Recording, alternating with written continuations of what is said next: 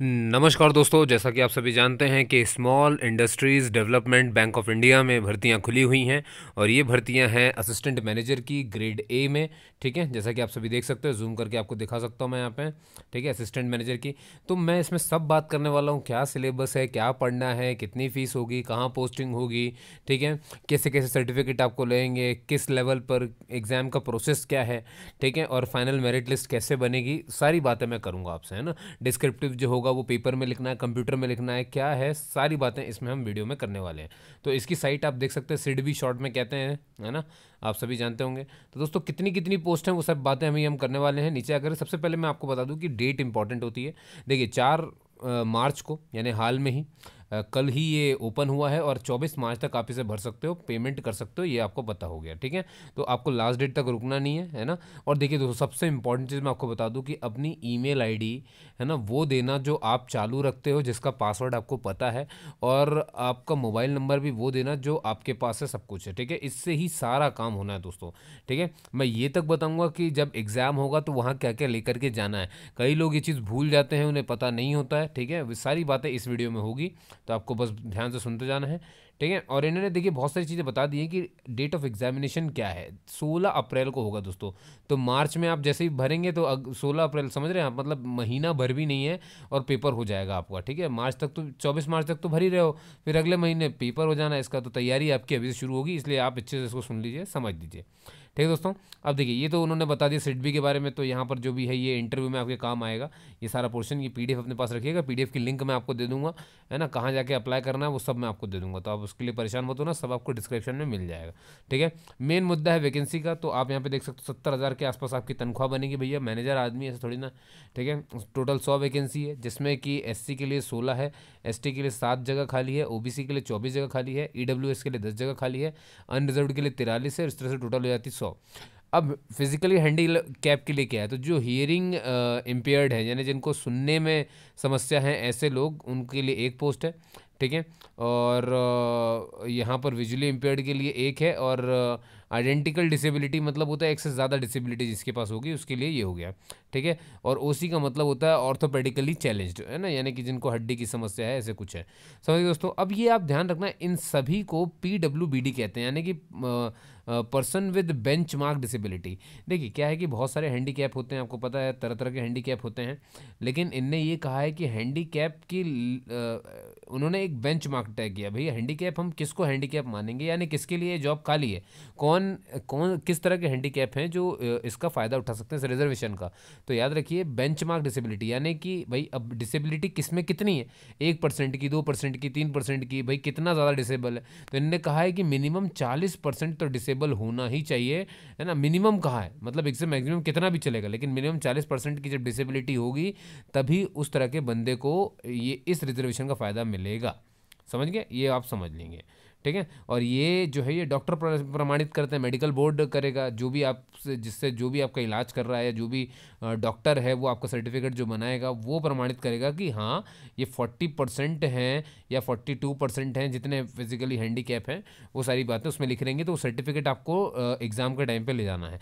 ठीक है? देखिए, कुछ बातें मैं आपको ये पे बता देता हूँ कि एस सी हों, चाहे एस टी हों, ये जितने भी रिजर्वेशन वाले मामले होते हैं ना, इनके सर्टिफिकेट लगते ही लगते हैं। अगर आप एक सर्विसमैन हैं, है ना तो आपको भाई बनी बात है एनओसी दिखाना पड़ेगा। है ना, बहुत कुछ होगा। मतलब सॉरी जो सर्विस मैन है, जो सर्विस कहीं कर रहे हैं, अगर वो पेपर देने आ रहे हैं तो उनको एनओसी दिखाना पड़ेगा अपने डिपार्टमेंट का। ठीक है भाई, दिखाना ही पड़ता है। एनओसी का मतलब नो ऑब्जेक्शन सर्टिफिकेट हो गया। अगर कोई काम कर रहा है कहीं तो उसको ये दिखाना है। एससी वाले को एससी का सर्टिफिकेट दिखाना है। परमानेंट एड्रेस का सर्टिफिकेट आपका लगेगा, आपके ग्रेजुएशन का सर्टिफिकेट लगेगा, सब कुछ लगेगा। और याद रखिए, इसमें सीजीपीए आप नहीं भरेंगे एप्लीकेशन में। आपको सीजीपीए को अपने या एसजीपीए को अपने जो है परसेंटेज में कन्वर्ट करना है।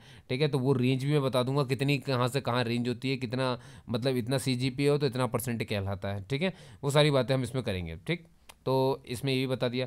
अच्छा अब एक चीज़ और मैं बताता हूँ यहाँ पे थोड़ा सा कि ओबीसी जो देखो दोस्तों कौन होता है? ओबीसी में दो तरह की चीज़ें होती है। एक होती है क्रीमी लेयर और एक होते हैं भैया नॉन क्रीमी लेयर तो ये जो रिजर्वेशन मिलता है ना, ये नॉन क्रीमी लेयर को मिलता है क्रीमी लेयर को नहीं मिलता।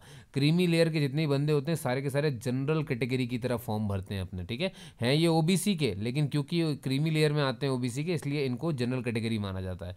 और नॉन क्रीमी लेयर को ही ओबीसी का रिजर्वेशन का फ़ायदा मिलता है। जो आप ओबीसी देखते हैं ना, ये नॉन क्रीमी लेयर को मिलता है ओबीसी में। दोनों दोनों ओबीसी हैं लेकिन ये नॉन क्रीमी लेयर हैं इसीलिए इनको मिलता है। ठीक है दोस्तों? अच्छा आ, अब देखिए। एक सेकेंड हाँ। चलिए ठीक है? इतना तो आप समझिए। अब देखिए मैं आपसे ये कह रहा था कि ओबीसी के नॉन क्रीमी लेयर को मिलता है आपको इसी समझ में आ चुकी है है ना? तो नॉन क्रिमिलेयर आखिर होते कौन? नॉन क्रिमिलेयर दोस्तों, वो परिवार होता है जिसकी सालाना आय आठ लाख रुपए से कम की होती है ना? ऐसा कोई परिवार ओबीसी ओबीसी का ऐसा परिवार जो आठ लाख रुपए से कम कमाता है, उसको हम कहते हैं कि वो नॉन क्रिमिलेयर है मतलब इन्हीं के लिए मिलता है, ठीक है? और जो आठ लाख से ऊपर कमाते हैं, वो क्रिमिलेयर है तो उनको तो जनरल की तरह ट्रीट किया जाता है। ऐसी दोस्तों जनरल कैटेगरी में भी जनरल कैटेगरी से निकल के आता है ईडब्ल्यूएस है ना? ईडब्ल्यूएस का मतलब क्या होता है दोस्तों? है ना? ईडब्ल्यूएस का मतलब होता है वही जो नॉन क्रीमी लेयर होते हैं।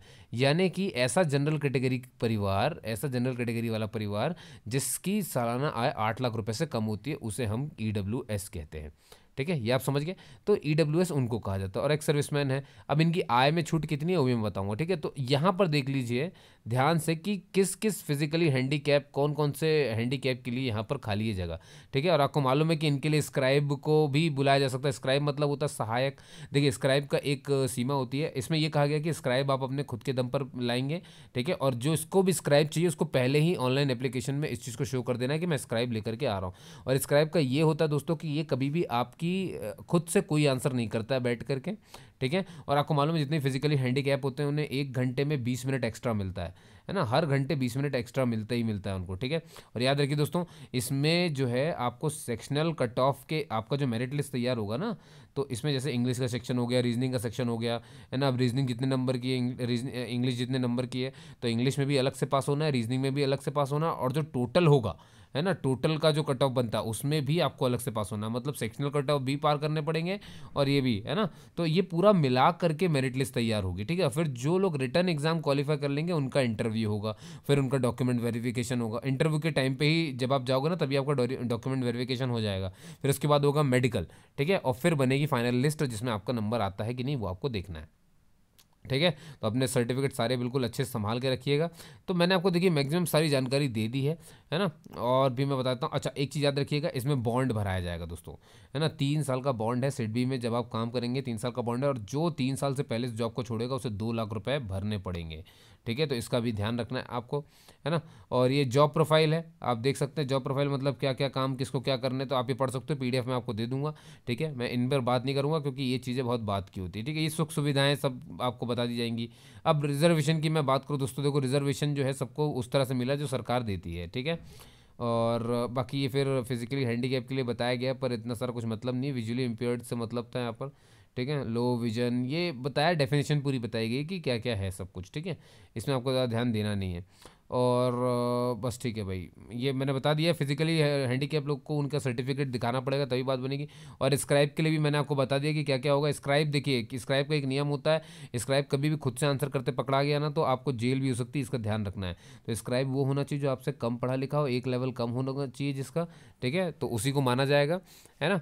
और स्क्राइब जो है क्या कहना चाहिए और एक स्क्राइब एक बार में एक ही कैंडिडेट करेगा। ऐसा नहीं होगा कि वही स्क्राइब दूसरे कैंडिडेट की मदद कर रहा होगा, ठीक है? याद रखेंगे कि स्क्राइब कभी भी आपकी मदद करते पकड़ाया नहीं जाना चाहिए। मतलब खुद से आंसर कर रहा हो, ऐसा नहीं पकड़ में आना चाहिए। वो बस आपकी मदद करे, ठीक है दोस्तों? चलिए, इसमें बाकी और कुछ नहीं लिखा है, और यही बस और ये तो होगी लोकोमोटिव वाली, है ना? विजुअली इम्पेयर्ड के लिए क्या है? बीस मिनट का टाइम मिलेगा सबके लिए, सबको पता है इनको, ठीक है? और ई डब्ल्यू एस के लिए देखो दोस्तों, इसमें कुछ भी नहीं, जो मैंने आपको बताया ना, हल्का शॉर्ट में वही सब कुछ है कि आठ लाख से कम जिसके उसे ई डब्ल्यू एस कहते हैं और आठ लाख से कम में ही ओ बी सी में उसको नॉन क्रिमिलियर कहते हैं। सिर्फ़ आठ लाख रुपए, आय से मतलब नहीं, इनका ये भी, ये देखो, ये पॉइंट लिखे हुए, ये सब नहीं होने चाहिए, ठीक है? पाँच एकड़ की एग्रीकल्चर लैंड नहीं होनी चाहिए, है ना? हज़ार स्क्वायर फीट की कहीं ज़मीन नहीं होनी चाहिए, उसके पास प्लॉट नहीं लिया होना चाहिए फ्लैट नहीं होना चाहिए ठीक है सौ यार्ड में भी नहीं होना चाहिए, इन नोटिफाइड म्यूनिसिपैलिटी में कहीं दो सौ में भी नहीं होना चाहिए नोटिफाइड मतलब इतनी इतनी ज़मीन भी नहीं होनी चाहिए, तब उसको हम मानेंगे भैया, ठीक है? और जितने भी ई डब्ल्यू एस के फैमिली में होते हैं, सबके साथ अठारह साल से नीचे के व्यक्ति होते हैं, तभी उसे उस फैमिली को ये माना जाता है। उसके बाद दोस्तों यहाँ पर सिटीजनशिप के बारे में बताया गया है कि सिटीजनशिप कहाँ कहाँ की नेशनैलिटी क्या क्या भाई नेपाल, भूटान, इन सब का हो सकता है बंदा, है ना? और अफ्रीकन कंट्रीज़ में इन सब का हो सकता है, कहीं के भी लोग भर सकते हैं, लेकिन उसके लिए क्या है कि एक सर्टिफिकेट आता है जो कि सरकार, यानी गवर्नमेंट ऑफ़ इंडिया देती है कि हाँ भाई एलिजिबल है। आपको मालूम है कि केन्या वगैरह के लोग तभी यहाँ पर भर सकते हैं जब वो ये शो करें कि वो परमानेंट सेट हो रहे हैं कहाँ? इंडिया में। ठीक है? तभी ये पॉसिबल है। Age limit minimum twenty one है और मैक्सिमम जो है ट्वेंटी एट के आसपास हो सकती है। यहाँ पर आप देख सकते हो, ये इससे आप मैच कर सकते हो अपनी उम्र को, है ना? इनके सन से देखो भाई, इससे पहले की नहीं होने चाहिए। तो भाई अब सीधे बात है, अगर कोई नाइनटीन नाइन्टी थ्री का है, मैं बोलता हूँ नाइनटीन नाइन्टी थ्री छोड़ो। अगर आप पाँच पाँच मार्च, या, ये इससे थोड़ा सा ही पीछे कर लो ना। नाइनटीन नाइन्टी फोर है, ठीक है, मार्च है, ठीक है, लेकिन मान लो कोई चार मार्च का है तो वो नहीं भर सकता है। भाई, एक डेट आप आगे के हो गए, उससे पहले के नहीं होने चाहिए, आप समझ गए, एक दिन भी आगे पीछे हो रहे हो ना तो भी नहीं होगा इसमें, ठीक है? और वैसे देखना है तो वैसे देख लो कि इक्कीस मिनिमम, अट्ठाईस मैक्सिमम। रिलैक्सेशन एस सी को जो हमेशा की तरह हर एग्ज़ाम में मिलता है, पाँच साल का ही मिलता है ओबीसी को, देखो साफ़ साफ़ लिखा ना नॉन क्रीमी लेयर बोल रहा था मैं आपसे, तीन साल का मिलता है, ठीक है? और जो फिजिकली हैंडीकैप है ना, दस साल का मिल जाएगा, ठीक है? अच्छा अब यहाँ पर एक चीज़ देखना है, यहाँ पे फिजिकली हैंडीकैप बस नहीं लिखा है, यहाँ पर इन्हें ये कहा है, अब देखो फिजिकली हैंडीकैप जो है वो हर डिपार्टमेंट में हो सकते हैं, ठीक है? वो एस सी में भी हो सकते हैं ई डब्ल्यू एस यानी जनरल कैटेगरी में भी हो सकते हैं ओबीसी में भी हो सकते हैं तो सबके अलग अलग छूट है। अगर कोई फिजिकली हैंडीकैप और वो reserve sorry E W S में आता है इकोनॉमिक वीकर सेक्शन में या अनरिजर्व में तो उसको दस साल की छूट है। और ऐसे ही पी डब्ल्यू बी डी वाला बंदा ओ बी सी में आता है तो तेरह साल की। और अगर वो एस सी एस टी का है तो पंद्रह साल की, ये फिजिकली हैंडीकैप के लिए। एक्स सर्विसमैन के लिए पाँच साल की है, ठीक है? ये भी आपको मालूम होना चाहिए। और ये भी याद रखिए कि उनके लिए कोई उम्र की छुट्टी नहीं है, जो पहले से सिडबी में काम करते हैं, यानी उन्हीं के एम्प्लॉई हैं, लेकिन इस पद को भरना चाहते हैं। तो ना ही उनसे कोई फ़ीस लेनी है, ना ही कुछ लेनी है दोस्तों, ठीक है? याद रखेंगे कि जनरल ओबीसी के लिए जनरल और ओबीसी के लिए और ईडब्ल्यूएस के लिए, है ना, एक जैसी फ़ीस है ग्यारह सौ रुपये ठीक है? ग्यारह सौ रुपये ठीक है? याद रखेंगे। मैं अभी एक बार दिखा दूँगा, अच्छे से समझ जाओगे आप सभी के सभी। और बस ये है, यहाँ पर ये कहा है कि भाई, जो भी इस कैटेगरी से बिलोंग करता है, उसको सर्टिफिकेट दिखाना पड़ेगा नॉन क्रीमी लेयर का। भाई, बनी बात है, तभी तो मैं आपको उस दूँगा एक्स सर्विसमैन को उसके ज्वाइनिंग लेटर दिखाने पड़ेंगे, है ना? सब कुछ दिखाना पड़ता है यहाँ पर। अच्छा अब एजुकेशनल क्वालिफिकेशन की बात कर ले दोस्तों बैचलर डिग्री होनी चाहिए। अब आपने चाहे बैचलर डिग्री लॉ में की हो इंजीनियरिंग में की हो, आपने मास्टर डिग्री किया हो, है ना? और और करके लिखा है ना मतलब या तो ये हो, या तो फिर इंजीनियरिंग की डिग्री हो मतलब वो भी भर सकता है बंदा, ठीक है? बस ये ध्यान रखना है कि साठ परसेंट आप फ़र्स्ट क्लास से पास हुए हों, ठीक है? और पचपन परसेंट जो है ये एस सी के लिए है। मतलब साठ परसेंट जनरल कैटेगरी वाले के लिए होगा और पचपन परसेंट जो है वो एस सी वालों के लिए हो जाएगा, ठीक है? और एजुकेशनल क्वालिफिकेशन मैंने बता दिया ना आपको कि बैचलर डिग्री होनी चाहिए, या तो लॉ की है तो भी चल जाएगा इंजीनियरिंग की है तो भी चल जाएगा मास्टर डिग्री या तो फिर आपने मास्टर डिग्री करी हो इकोनॉमिक कॉमर्स में किसी से में भी, किसी भी खास यूनिवर्सिटी से जो कि मान्यता प्राप्त हो, या फिर आप सी ए हों सी एस हो C W A C F A financial वाला होता है जो, या फिर पी एच डी किया हो किसी भी उससे मतलब सब के सब अप्लाई कर सकते हैं इस पोस्ट के लिए। ठीक है, साठ परसेंट वाली बात ये मैंने आपको समझा दी, है ना? और भाई जो भी है आपके सारे सर्टिफिकेट आपको उस समय दिखाने पड़ेंगे जब आपको कहा जाएगा। ठीक है? और यहाँ पर अब मैं आपको एक चीज़ दिखाता हूँ। देखो, इनने साफ़ साफ़ कहा है कि सी जी पी ए या एस जी पी या ओ जी पी ए जो भी है, इसको आपको बदलना है है ना? क्योंकि ये तो टेन पॉइंट के स्केल में चलता है। ऐसे मान लो किसी की सिक्स पॉइंट सेवन फाइव है तो इसको कन्वर्ट करना आपको एग्रीगेट परसेंटेज में, ठीक है? तो सिक्स पॉइंट सेवन फाइव को फ़र्स्ट डिवीज़न मानते हैं और सिक्स पॉइंट टू फाइव को सेकंड डिवीज़न मानते हैं, ये ध्यान रखना। तो ये एग्ज़ाम्पल के तौर पर टेबल बनाया गया कि किसी के अगर सिक्स पॉइंट सेवन फाइव है तो उसका जो परसेंट होगा एग्रीगेट वो साठ परसेंट लिया जाएगा। अगर कोई सिक्स पॉइंट टू फाइव है तो देख रहे हो आप सीधे पचपन परसेंट लिया जाएगा। समझ पा रहे हैं आप सभी? है ना? तो किस हिसाब से बनना है? तो अपने सीजीपीए को आपको एग्रीगेट के तौर पर वहाँ पर बदलना है और यहाँ पर सब फॉर्मेट दिया ये पूरा फॉर्मूला है इसको बदलने का, समझने का, ठीक है? हालाँकि इसका सर्टिफिकेट लगता है इंस्टीट्यूट देता है। चलिए भाई, अब बात कर लेते दोस्तों कि पेपर कैसा क्या होगा तो मैं आपको बताता हूँ, यहाँ पे आपको ये चीज़ तो पता ही है कि भाई इंग्लिश आती है जनरल अवेयरनेस आता है रीजनिंग आती है क्वांटिटेटिव एप्टीट्यूड आता है। सबके सब ऑब्जेक्टिव टाइप रहेंगे, ठीक है? तीस तीस क्वेश्चन इंग्लिश के हैं और तीस मार्क्स का ये बीस मिनट आपको मिलेगा जो मिलता है। इस तरह से पचास क्वेश्चन आपके जनरल अवेयरनेस के फाइनेंसिंग या बैंकिंग के भी रहेंगे इकोनॉमिक सेक्टर से भी जुड़े हुए रहेंगे तो पचास क्वेश्चन पचास नंबर के तीस मिनट आधा घंटा मिल रहा है आपको। रीजनिंग एप्टीट्यूड में चालीस क्वेश्चन है, साठ मार्क्स के रहेंगे, चालीस मिनट मिल रहा है आपको। ठीक है? और क्वान्टिटेटिव मैथ्स के लिए मिलेगा चालीस क्वेश्चन और इसके जो साठ मार्क्स का होगा ये, और तीस मिनट आपको मिलने वाला है। ठीक है? तो इस तरह से टोटल एक सौ बीस मिनट हो, यानी दो घंटे हो गए आपके। ठीक है? तो दो घंटे आपको ये करना होता है, ठीक है? अब यहीं पे देखो एक आता है ऑनलाइन डिस्क्रिप्टिव टेस्ट ये कैसे होगा दोस्तों? ये आपको होगा टाइप करना होगा, ठीक है? क्या क्या टाइप करते हैं डिस्क्रिप्टिव में याद रखना? दो ऐसे दो निबंध आएँगे, ठीक है? जो कि बैंकिंग इकोनॉमिक फाइनेंशियल और सोशल इशू कोई है, सामाजिक मुद्दा उस पर आ सकते हैं। तो दो अगर निबंध आ रहे हैं तो एक निबंध बीस नंबर का है। तो दो निबंध होगा चालीस नंबर के। चालीस नंबर के तो निबंध लिखना और ये सब कंप्यूटर में टाइप करना, ये भी बता रहा हूँ मैं आपको, ठीक है? आपको कितना टाइम मिलेगा? ये तो याद रखेंगे, एक घंटा मिलेगा। ठीक है तो ये सर चालीस हुए, लेकिन पचास का डिस्क्रिप्टिव दस कहाँ गए?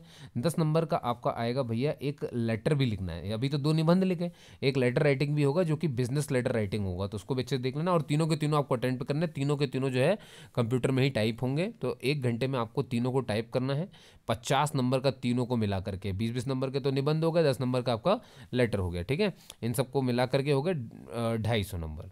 बस आप समझ गए? टोटल देखो 200 तो पहले ही हो गया था टोटल और ये 50 नंबर का तो 250 नंबर का टोटल पेपर है, ठीक है?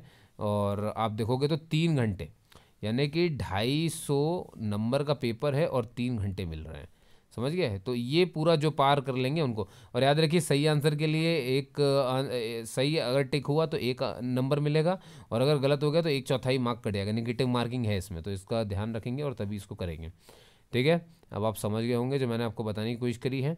और ये देखिए, मैंने कहा था ना कट ऑफ़ कैसे क्लियर होगा? स्कोर होगा इंडिविजुअल टेस्ट जो है इंडिविजुअल सेक्शन में भी पास होना है और जो टोटल मिला करके आता है, उसमें भी पास होना है। तो ये देखना पड़ेगा कि ढाई में से कितने आए, वो भी देखेंगे कि भाई मतलब ढाई सौ में से भी कट ऑफ़ बनाया जाएगा। और अलग अलग इंग्लिश में, जैसे तीस नंबर का है, किस, जो रीजनिंग है, वो चालीस नंबर की है या पचास नंबर की डिस्क्रिप्टिव होगी तो इनके अलग अलग कट ऑफ़ भी बनेंगे और टोटल का भी कट ऑफ़ बनेगा और आपको सब क्वालिफाई करना है, तभी आप इसमें अंदर हो पाएँगे। ठीक है दोस्तों? चलिए अब आप समझ गए होंगे मेरी बात को। अब ये देखिए प्री आ, क्या होता है कि प्री रिक्रूटमेंट ट्रेनिंग होती है। ये S C S T O B C के लिए होती है और किसी को भी प्री रिक्रूटमेंट ट्रेनिंग चाहिए। देखो आठ दिन की ट्रेनिंग दी जाती है कि मतलब पेपर कैसे होता है ये जानना हो अगर उनको तो ये उनको जब ऑनलाइन एप्लीकेशन वो भर रहे हैं ना तभी उसको मेंशन करना पड़ेगा। अगर आप विजुअली फिजिकली हैंडीकैप हैं और आपको सहायक चाहिए स्क्राइब चाहिए स्क्राइबर चाहिए जो भी है स्क्राइब चाहिए तो आपको ऑनलाइन एप्लीकेशन में पहले ही मेंशन करना पड़ेगा ठीक है? एग्जामिनेशन सेंटर को भी पहले मेंशन कर देना ठीक है? और ऑनलाइन एग्जामिनेशन है सबको पता है। ठीक है? अच्छा अब मैं बता देता हूँ कि देखिए इंटरव्यू के सेंटर्स जो हैं, वो सिर्फ़ दस ही सेंटर हैं इंटरव्यू जहाँ होंगे। अहमदाबाद, बेंगलुरु, चंडीगढ़, चेन्नई, और हैदराबाद, गुवाहाटी, जयपुर, कोलकाता, लखनऊ, मुंबई, न्यू दिल्ली। ठीक है? सिर्फ़ इन्हीं जगह पर होना है, हर जगह नहीं होना है उसको। ठीक है? और, बस ठीक है, इतना ही है। तो एड्रेस प्रूफ वगैरह सब लगता है इसमें, मैंने आपको बता ही दिया है। ठीक है? और देख लेता हूँ सिट बी एडवाइस और लिस्ट ऑफ़ डॉक्यूमेंट अच्छा याद रखेंगे, ये एक चीज़ सबसे इंपॉर्टेंट हो गई है। जब आप इंटरव्यू के, अगर आप सिलेक्ट हो जाते हैं यहाँ से तो आप इंटरव्यू के लिए जब जाओगे तो आपको ये सब लेकर के जाना पड़ेगा। और याद रखो एग्जामिनेशन हॉल में क्या क्या आपको लेके जाना मैं बता देता हूँ। आपका कॉल लेटर तो रहेगा ही रहेगा, है ना? एडमिट कार्ड जो रहता है, ठीक है? इसके अलावा एक आपकी ओरिजिनल आई रहेगी और उसी आईडी की एक फ़ोटोकॉपी भी रहेगी और साथ में पासपोर्ट साइज़ फ़ोटो भी लेकर के चले जाना, दो या तीन। वहाँ लगाने के लिए वो बोल सकता है। और एक रहेगा आपका सेल्फ डिक्लेरेशन फॉर्म वो जो कोरोना वाला था, जो इसकी लास्ट में, वो भी मैं आपको दे दूँगा। है ना, वो भी इसी पीडीएफ में लगा तो ये सब चीज़ें पहले से लेके आना ताकि वहाँ परेशान ना हो।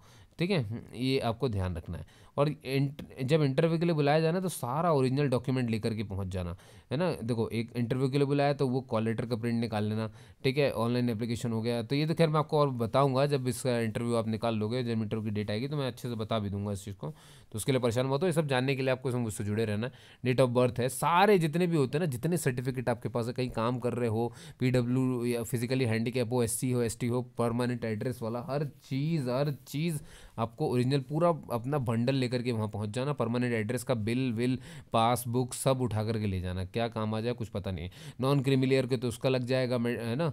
समझ रहे हो आप मेरी बात? ये सारी चीज़ें वही वही लिखी हुई है। एक्स सर्विस मैंने तो एनओसी दिखाएगा। ये इन्होंने कई बार बोला है इसमें, ठीक है? कई बार बोला है। और फ़ीस एक बार भर्ती तो नहीं जाएगी और ये भी बोल दिया, तीन साल तक तो आप बाउंड हो ही। अगर तीन साल से पहले छोड़ा तो आपको मालूम है कि आपको दो लाख रुपये चुकाने पड़ेंगे, ठीक है?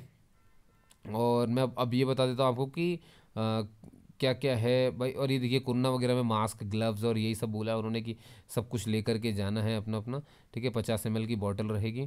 ठीक है, कैंडिडेट रजिस्ट्रेशन है, सेल्फ डिक्लेरेशन है। ठीक है, और सीधे आ जाओ अब इसमें। अब फ़ीस की बात करते दोस्तों देखो तो एस सी और जो फिजिकली हैंडीकैप हैं, इनको एप्लीकेशन फ़ीस नहीं मांगी जा रही, लेकिन इंटीमेशन चार्ज है, वो मांगा गया एक सौ पचहत्तर तो टोटल इनको सिर्फ़ एक देने हैं। किस किस को? एस सी और पी को, यानी फिजिकली हैंडीकैप को। और जो बच गए अपने ओबीसी है ना नॉन क्रीमी वाले ई इकोनॉमिक वीकर सेक्शन और जनरल कैंडिडेट इनको एप्लीकेशन फ़ी 925 भी देनी है और इंटीमेशन फ़ी 175 भी देना टोटल ग्यारह सौ रुपये मतलब ओ बी सी और जनरल कैटेगरी के लिए ग्यारह सौ रुपये है और S C S T P W यानी फ़िज़िकल हैंडी कैप के लिए एक सौ पचहत्तर रुपये है। ठीक है? ये आपको ध्यान रखना है। अप्लाई करने से पहले दोस्तों देखो, यहाँ पे फ़ोटोज़ देख लो, नहीं तो एरर आती है अपलोड करने में। भाई क्या क्या चीज़ें अपलोड करनी है? देखो, एक तो लेफ़्ट हैंड थम है। अगर किसी के पास लेफ़्ट हैंड थम नहीं तो वो राइट का कर सकता है। ठीक है? ये आपको ध्यान रखना है। अप्लाई करने से पहले आपका जो पासपोर्ट साइज़ फ़ोटो है, उसकी देखो, देख लो कैसे क्या है। इसकी जो चौड़ाई है, वो चार पॉइंट पाँच है और तीन पॉइंट पाँच तीन पॉइंट पाँच सॉरी, चौड़ाई है और ऊंचाई जो होगी चार पॉइंट पाँच होगी, ये आपको ध्यान रखना है। ठीक है, पहली बात तो। और इसमें सीधे दिखना चाहिए, टोपी ओपी नहीं पहना हो इधर उधर ना देख रहा हो, दोनों कान बराबर दिख रहे हो, पीछे का बैकग्राउंड वाइट हो, ये सबको पता है, सब हर पेपर में पता रहता है, ठीक है। सिग्नेचर कभी भी कैपिटल लेटर में नहीं करते, हमेशा कर्सिव में करते हैं। लेफ़्ट हैंड थम इंप्रेशन होगा और सेल्फ डिक्लेरेशन ये रिटर्न हैंड रिटर्न डिक्लेरेशन भी रहता है। ठीक है तो इसको तो अपनी राइटिंग में लिख करके स्कैन करके वापस अपलोड करना है। तो फिर लिखते हैं ना, आए फिर आपका जो भी नाम हो वो लिख करके हेयर वाइज से लेकर रिक्वायर्ड तक पूरा अलग से पन्ने पे लिखो, फिर उसको स्कैन करो, फिर अपलोड करो, ठीक है? तो आपको ये भी अपलोड करना है, आपको सिग्नेचर भी अपलोड करना है, आपको फ़ोटो भी अपलोड करना है, आपको थंब इंप्रेशन भी अपलोड करना है लेफ़्ट हैंड का। समझ गए होंगे। आप सभी क्या क्या आपको करना है? अब कितने कितने एम बी के बी का होगा वो बताता हूँ और ऑनलाइन पेमेंट कर देना है। अभी तो आपको पता है कि अप्लाई कैसे करते हैं भैया? आप अप्लाई करोगे, इस साइट पे जाओगे अप्लाई करोगे न्यू रजिस्ट्रेशन पर क्लिक करोगे, पहले तो रजिस्टर कर लोगे ईमेल आईडी सब उसमें डाल दोगे तो आपको पासवर्ड और रजिस्ट्रेशन आ जाएगा, फिर वापस जाना, है ना? और फिर अब इस बार सीधे लॉगिन करना। लॉगिन करने के बाद अब आपको सीधे सब कुछ भरना है। सेवन इंडेक्स सेवन इंडेक्स करते जाना, फिर फ़ोटो अपलोड वगैरह के लिए आएगा। तो वो भी मैं बता देता हूँ, है ना? कि कितने क्या के बी का रहेगा। अब यहाँ पे देखिए फोटोग्राफ भाई ये सब आपको बता दें कितना कैसे होगा। तो देखो पिक्सल भी याद रखना, दो सौ दो सौ तीस पेंट में जा करके पिक्सल बदल सकते हो रिसाइज कर देना, वहाँ पिक्सल का ऑप्शन आता है है ना? पिक्सल से आप इसे चेंज कर सकते हो, दो सौ, तीन सौ कर देना। और कंप्रेस कर लेना ऑनलाइन ही, अगर ज़्यादा हो जाए तो बीस से पचास के बी के बीच में ये चीज़ होनी चाहिए। ठीक है? सिग्नेचर वगैरह जो है मैं बताता हूँ। Signature left thumb thumb impression and hand written declaration तो देखो, जो सिग्नेचर है, पहली बात तो ब्लैक किंग से कर लेना, उसका डायमेंशन 140 पिक्सल में इतना रहेगा और 10 से 20 के बी के बीच में होना चाहिए, ठीक है? बिटवीन दिस वन सिग्नेचर 50 से के बी फॉर लेफ़्ट थम है ना? तो सिग्नेचर इतना होना चाहिए। और जो लेफ़्ट थंब इम्प्रेशन है, वो 20 से 50 के बी होना चाहिए, ठीक है? समझ गए ना? जो सिग्नेचर है, वो 10 से 20 के बी के बीच में होगा और जो थंब अंगूठा लगा रहे हो, वो 20 से 50 के बी के बीच में हो जाएगा। ठीक है? और बस हो गया इतना ही है इसमें तो ठीक है दोस्तों? और यहाँ पर थम इम्प्रेशन के बारे में भी इनने दे दिया है कि कैसे कैसे आप कर सकते हो। इतना पिक्सल्स में रहेगा, दो सौ चालीस, दो सौ चालीस, तब इतने में पहुँचेगा, ठीक है? इसको ध्यान रखना है। और सब कुछ जेपीजी जेपीजी में जितने भी आप इमेज वगैरह इसमें अपलोड करोगे, वो सब इसमें रहेंगे, ठीक है? चलिए तो ये मैंने आपको बता दी ये बातें भी। अब आगे चल देता हूँ। स्कैनिंग द डॉक्यूमेंट देखो स्कैन जितने भी करोगे, सब जेपीजी में ही करना, मैं पहले बता रहा हूँ। है ना? उसके डिटेल में जा कर के आप देख भी सकते हो। और जहाँ जहाँ पे बोला गया वहाँ अपलोड कर देना, बस फॉर्म भर देना, ठीक है? और बाकी जनरल इंस्ट्रक्शंस हैं। एप्लीकेशन फॉर्म ये भरने से पहले इनने सब कुछ, वही वही जो बातें ऊपर बोली ना, वही सारी की सारी रिपीट कर दी दोस्तों। तो परेशान मत होना कि इसमें कुछ छूटा है। ये देखो, आपको हर जगह वही लिखने को मिलेगा क्रीमी लेयर सेक्शन को, आपको सर्टिफिकेट को, ये देखो प्रोवाइड करना पड़ेगा और सर्टिफिकेट जो है एक साल से पुराना नहीं होना चाहिए, ठीक है? और ये तक कह दिया कि जो फ़ोटो आप लगा रहे हो, उस फ़ोटो से आप बदलते हुए नहीं दिखने चाहिए। मतलब अपना अपीयरेंस वैसे ही बना के रखना, जैसे दिख रहा हो फ़ोटो में, वैसे ही। ठीक है चेंज मत करना, जब तक वैकेंसी चल रही है वैसा है, ये तक लिख के रखा हुआ है तो ये कहाँ से पॉसिबल है? ठीक है दोस्तों, और ये ये देखो, ये हैं कुछ सेंटर जो जिस सेंटर की मैं बात कर रहा था सेंटर उन्होंने बोले ना, वो वाले सेंटर इसमें दिए हुए हैं, ठीक है? और बस फिर इसके अलावा कुछ मिलता नहीं है इसमें, फिर भी मैं एक बार देख लेता हूँ आपके लिए, कुछ अगर हो तो। और मिसकंडक्ट और अनफेयर मत पाए जाना, भाई, ये देखो, ये तो मैंने आपको पहले ही बता दिया क्या क्या आपको लेकर के जाना जब आपको रिटर्न टेस्ट में जाओगे? ठीक है? है ना? और दोस्तों, अब मेरे ख्याल से इसमें कुछ भी बचा नहीं है। तो बस बाकी डेट वगैरह हो गई है, ठीक है? और आखिरी में एक चीज़ और देख लो इसमें जो आप सबको देखे रहना है। और ये है दोस्तों, ये एक सेकंड नीचे पहुँच जाओ। ये रहा सेल्फ डिक्लेरेशन ये वो है कि मुझे ना कफ है फीवर है, ये सब, ये मालूम है ना, ये प्रिंट निकालते हो आप तो ये सब मैं आपको दे रहा हूँ, ठीक है? तो दोस्तों, याद रखेंगे, चार मार्च से स्टार्ट है और चौबीस मार्च है, इक्कीस से अट्ठाईस, तीन साल का बॉन्ड है, दो लाख रुपये बॉन्ड बीच में छोड़ देने पर, ठीक है? ग्यारह सौ रुपये किस कैटेगरी के लिए, बाकी सबके लिए एक सौ पंचानवे, और जो लोग ऑलरेडी नौकरी में हैं, उनके लिए कोई फ़ीस नहीं है। ये भी मैंने आपको बता दिया है, जो सिडबी में ऑलरेडी कर रहे हैं। ठीक है? और बाकी सबको एस का एसटी वालों को अपने सर्टिफिकेट दिखाने पड़ेंगे परमानेंट एड्रेस दिखाने पड़ेंगे और ये सब कुछ जो है जिस सर्टिफिकेट को मान्यता मिली गई है वो गवर्नमेंट ऑफ़ इंडिया के द्वारा जो जारी किया फॉर्मेट होता है ना, उसमें आपको दिखाना है। चाहे फिर वो मेडिकल की बारी हो तो सब हाल में उन्हीं पर ध्यान दिया जाएगा। ठीक है दोस्तों? तो उम्मीद करता हूँ आपको चीज़ समझ में आई होगी। कोई भी डाउट होने पर आप बेझिझक कमेंट करिए, मैं आपको बिल्कुल उसका जवाब दूँगा थोड़ी देर में ही। ठीक है? तो परेशानी की ज़रूरत नहीं, बस भरिए फॉर्म को और कोई भी डाउट आए तो आप मुझसे पूछिए। ठीक है? आपने मुझे सुना, उसके लिए धन्यवाद दोस्तों। आप और भी लेक्चर जाकर देख सकते हैं डिस्कशन विद मनोज के इस चैनल पर। इसका एडमिट कार्ड वगैरह की भी जानकारी मैं आपको तुरंत ही दूँगा तो ये सब जानकारी पाने के लिए आप मुझसे जुड़े रहो सब्सक्राइब कर लो इस चैनल को, क्योंकि मैं यही जानकारी आपको देता हूँ दिन भर वेबसाइट से निकाल निकाल के, ठीक है? तो आपकी मदद करता हूँ, क्योंकि आप ये काम नहीं कर पाते हैं, क्योंकि दिक्कत होती है इसलिए, ठीक है? वो और मैं समझता हूँ। चलिए, ठीक है दोस्तों तो आपने सुना, उसके लिए बहुत धन्यवाद। जय हिंद।